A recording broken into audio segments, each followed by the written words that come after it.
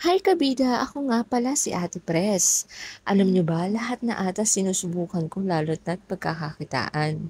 Small vlogger na rin ako, um, working mom, tapos nag-a-affiliate na rin.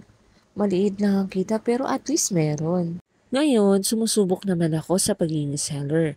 Mahirap pero yung skills mo nahahasa. Alam niyo ba kaming mga small seller?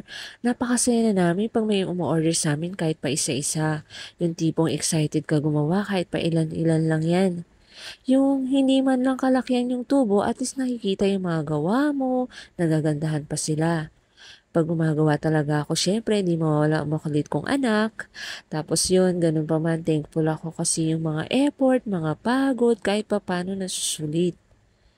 Kahit pa isa-isa pa ilan-ilan lang yan. Ang saya kaya, kasi ibig sabihin nakikilala ka na kahit pa unti-unti.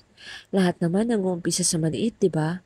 Malay natin, isang araw masasabi kong ako naman.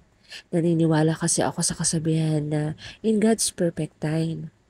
Malay natin, isang araw bumalaga sa atin maraming orders, di ba? Tapos malay mo maging CEO ka na rin. o di ba? Sarap kaya mangarap. Libre lang yan. Malay mo, one day magkatotoo. Kaya salamat kabida. Kasi kung wala kayo, syempre wala rin kaming mga small seller. Salamat kasi sinusuportahan nyo kaming mga liliit na seller. Sana mas dumami pa ang mga katulad nyo. God bless!